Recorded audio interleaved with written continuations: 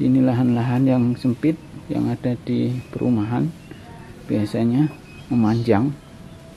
Ruangan-ruangan memanjang kecil memanjang ini biasa tersedia di perumahan-perumahan di perkotaan.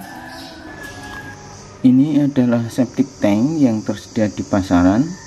Berbentuk silinder ada yang horizontal ada yang vertikal yang tidak cukup jika dipasang di lahan kecil memanjang yang tadi itu sementara septic tank harus tersedia di setiap rumah untuk mengolah limbah WC agar tidak mencemari lingkungan.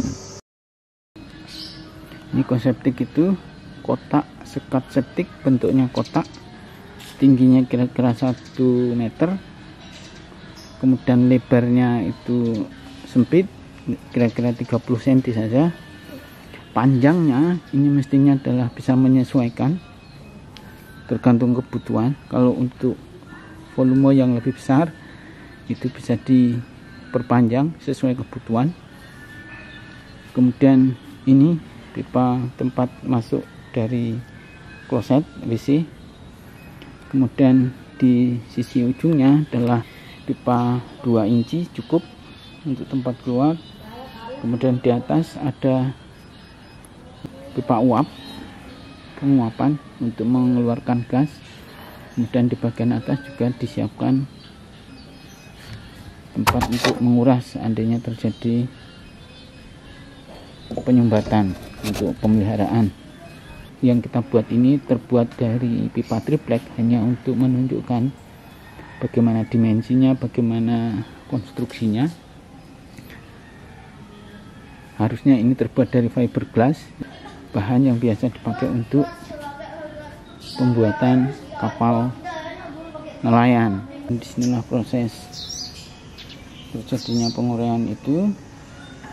Kemudian di bagian ini bagian dalam ini adalah tempat untuk limbah yang dalam bentuk lumpur.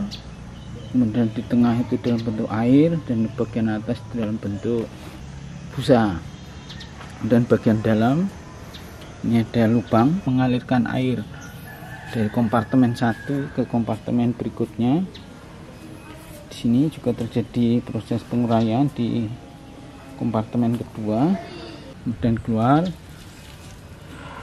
Kemudian bagian atasnya adalah pipa udara yang itu untuk mengeluarkan gas hasil penguraian. Di bagian pertama dan kedua itu di sini ada lubang udara sehingga bisa keluar ke terhubung antara kompartemen 1 dan kompartemen 2 kemudian bagian atas ini ini adalah tempat untuk menguras. Namun demikian ini mestinya kalau proses penguraian itu berjalan sempurna maka dia tidak akan penuh karena dia akan menjadi lumpur dan lumpur itu bisa mengalir keluar ke dari septic tank ini